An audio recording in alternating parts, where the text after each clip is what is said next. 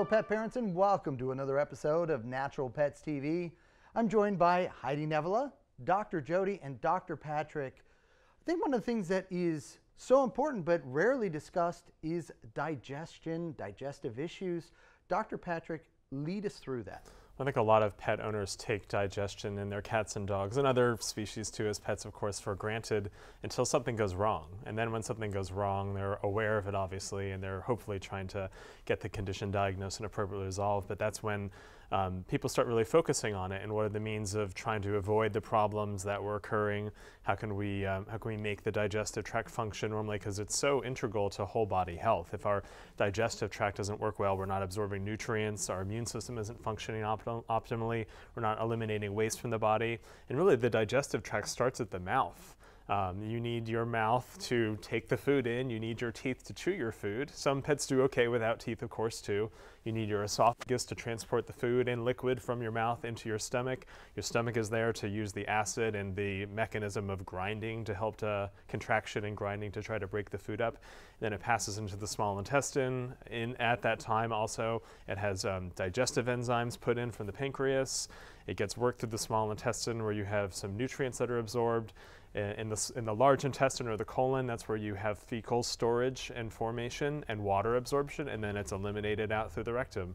So um, it's all very important that everything works very well together so that you can have a good, um, optimally functioning body. And the good thing is that there's a lot of new techniques that can help to make your pet's digestive tract healthier from whole food diets to probiotics to prebiotics to other substances that help to calm down the intestinal tract when it's inflamed.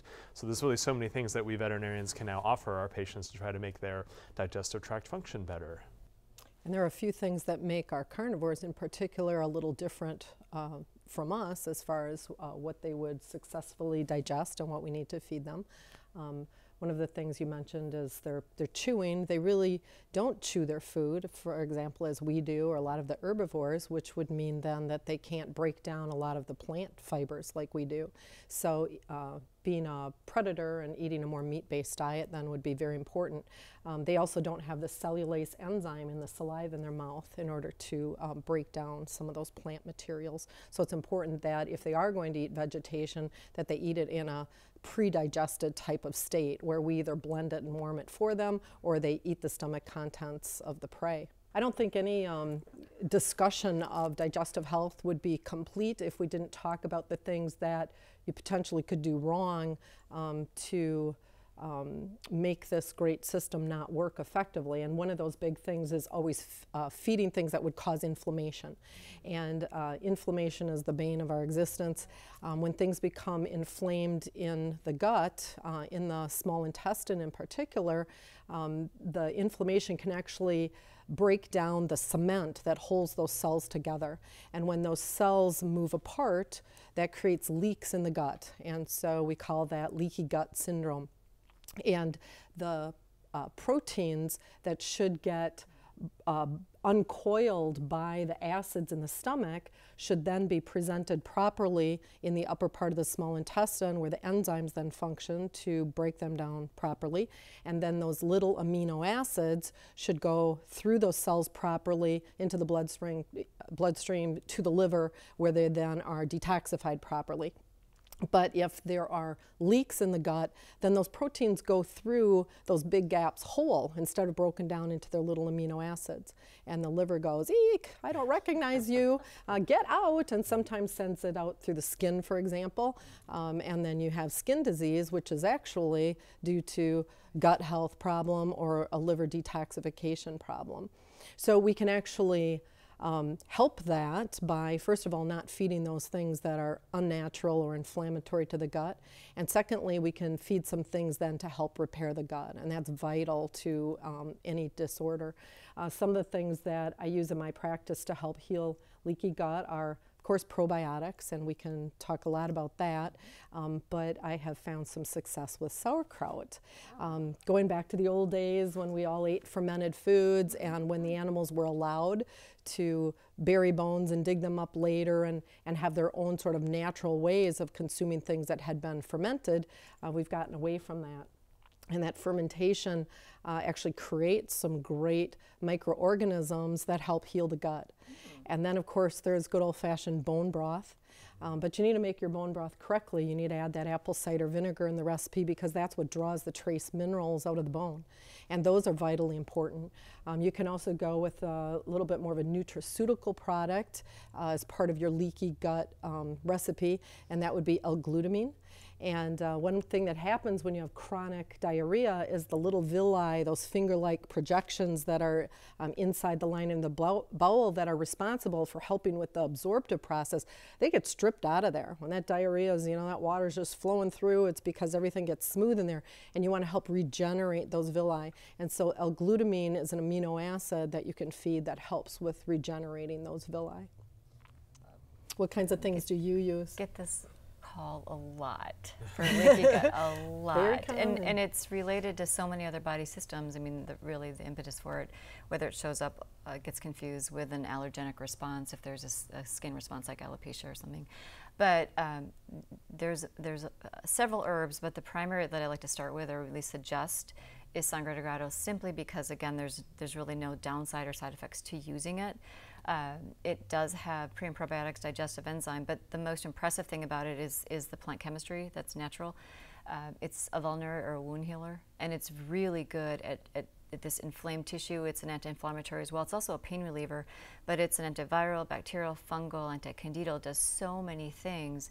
Um, it helps reset gut flora, but also in the smooth muscles that might be interrupted, it, it soothes and eases that as well. Kind of reconditions that area and primes it to you know really heal, um, especially those those perforations in, in the gut. That's really you know facilitating the problem. Um, and then downstream, it also helps with with the elimination and those kind of issues. It gives a nice nod to um, immune support as beyond being anti-inflammatory. So that's one. There's there's you know more more you know, there's like Carqueja is another one.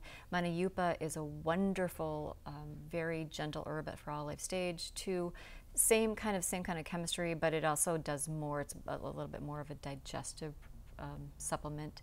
Um, and it also calms down other part, other body systems that are impact, like the endocrine system, and the immune system, get involved with this. So those are some that we like to make suggestions for. Of course, working in, conduct, in conjunction with the pet parents vet. Make sure they're not mixing it with anything that you know may not agree. A lot of those plants, um, of course, contain chlorophyll, mm-hmm. and you can even supplement chlorophyll pearls as a healing agent. They'll heal ulcers. Chlorophyll helps mm-hmm. with pain. Um, so there are a lot of nutraceuticals that, can, that we can use to help with digestive health. I've used tons of them. I mean, I, I, I've unfortunately somehow at some point contracted parasites without even going to a third world country, probably from eating bad sushi, but I'm not quite oh, sure. It's, it's um, really common and I felt like, oh my, this is what my patients are going through. and I did take medication to help it, but also I tried, well, I tried to first just, before just jumping to taking medication, and not like an anti-diarrheal medication or an acid, but an antibiotic, anti-parasitic, based on what I suspected I had before I had a confirmed diagnosis. I started with probiotics to try to make my, to try to improve the, the health of my gut. I eliminated a couple things that were acidic and I still wasn't feeling better. And my condition actually was progressing to like night sweats and joint pain and things like that. It turned out I had a parasite very similar to Giardia. I had a protozoa and I had an amoeba on top of that. And the amoeba was very opportunistic. It just kind of was there because my normal gut function wasn't working to eliminate it. So I took my medication to eliminate it and I immediately felt better. I wasn't having like the awful things that my patients go through. And then I try to restore my gut probiotic, my gut um, flora with probiotics, and I I have felt so much better since then. But I felt like I really had sympathy for what my patients go through, and I've seen them go through way worse, whether it's like explosive diarrhea. And this might be a good place where we talk about like the digestive tract and what happens when there's um, problems inside. Your your pet might not eat as well, so their appetite can be down. They could have vomiting or regurgitation. Vomiting is when you have an active contraction of the abdomen, so there's a, a forceful ejection of food. Regurgitation is very passive. It almost is like something just pours or falls out of their mouth. And then there's diarrhea. So diarrhea can be large or small bowel diarrhea. Small bowel diarrhea tends to be soft and kind of pale in color. It doesn't have any urgency for them to go. There could be some dark tarriness to it, which might indicate blood that's digesting as, it's, as it moves through. Then there's large bowel diarrhea, which is it, it, can have one or all the above characteristics. There could, there could be urgency, there could be flatulence, there could be uh, blood, mucus, watery explosiveness to it. It's usually what is more alarming to pet owners and, and, drives them to go to the emergency vet if needed. So you have all sorts of things that can go wrong with the digestive tract, and that's why I feel like we always want to try to keep digestive tract function as consistent as possible, and that's where the use of probiotics, um, and, and in my practice, I actually try to get the pet's gut working very well and then stop the probiotics and see if we can maintain that gut health. But if we need to just give a daily probiotic, I feel like that's a very safe and appropriate appropriate way of helping. Sometimes probiotics appear in food, like in raw meat diets or even some commercially available processed pet food.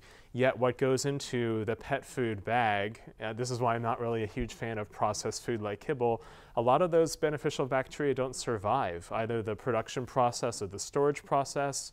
And so we have to think like if you're going to be eating dead bacteria, is it really going to do your body any good? And that's why we want to make sure it's live as it goes through the body and even actually gets through the stomach and survives the acidic environment and gets into the small intestine. And that's why I'm generally a fan of probiotics being, if we're going to give a probiotic supplement, being in capsule form so it does pass through. Mm-hmm. Some, enteric-coated, yeah, enteric-coated, somehow, somehow get it through. Some bacteria will live but not, it may not be as potent um, as a treatment as compared to if it is in some kind of format to get it where it needs to go. Yeah, and there's certain strains that will survive the stomach acid yes. to be effective. And you mentioned um, with your disorder identifying the sorry um, to put all that the, out there. the parasites and um, so to go a little too much information but um, checking a fecal sample um, is often important, but some people think that that's the only thing that veterinarians can check or do check as far as identifying what's wrong with the digestive disorder. Um, what I found in my practice is a GI panel um, is often so important, and uh, sometimes a guardian thinks, oh, this has been tested, everything's been done, they can't figure out what's wrong, but don't forget about this GI panel. Um, what I love about it is it um, can help rule out so many things. Um, pancreatitis is another. Mm-hmm um, digestive related disorder that we always want to rule out if there's vomiting, diarrhea, weight loss. Um, and uh, CPL or in a an FPL, that's uh, the words we use. Um, so when you're looking at your blood panel, so you can be your uh, pet's advocate and, and know what to look for. Um, a TLI is for pancreatic insufficiency, and that's one of those digestive disorders that's very serious. But when you identify it and you put them on pharmaceutical grade enzymes um, to treat it, soak their food in these enzymes, and then feed them that way every day, oh my gosh, they blossom. It's one of the most rewarding things I think that we can treat. But you have to do the right blood panel to identify it. And then lastly, in that panel is measuring cobalamin and folate, um, two B vitamins that are absorbed absorbed from the upper and lower part of the small intestine. And when you do that, it's a very I think, non invasive way to find out some information of what's happening right at that bowel lining level without doing it, um, jumping into a more invasive testing like intestinal biopsy. So sometimes it can even give us a clue do they have inflammatory bowel disease? You know, might they have GI lymphoma? And then we need to go further with other tests.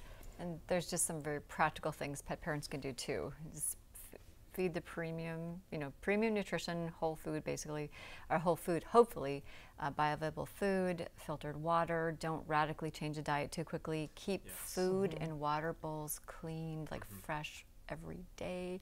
Um, don't let them have access to, t- uh, to too much to table scraps, hopefully not all, and limit garbage access. You know, those are just some real practical things that can be done to make sure that what's whatever's going is isn't creating problems downstream. I have I have so many patients where um, they are their own worst enemy because they want to eat things that they shouldn't. They have diet they have episodes of dietary indiscretion, which just itself, whatever they're consuming, as as the body's trying to acclimate to it, as it's trying to get it through they cause so many problems, especially in puppies and kittens, or even um, as sometimes pets get older and they develop certain conditions, say like Cushing's disease, where the body is pumping out too much cortisol, which is causing them to be hungrier. Therefore, they forage in the backyard and they eat soil that happens to have bacteria in it, um, and, or parasites or something like that. Or they might be on a medication like a steroid to help to control a condition. So that's where it's always great if we can think ahead limit their access to certain environments. If you do have that pet that is prone to dietary indiscretion, work very hard to prevent them from doing so because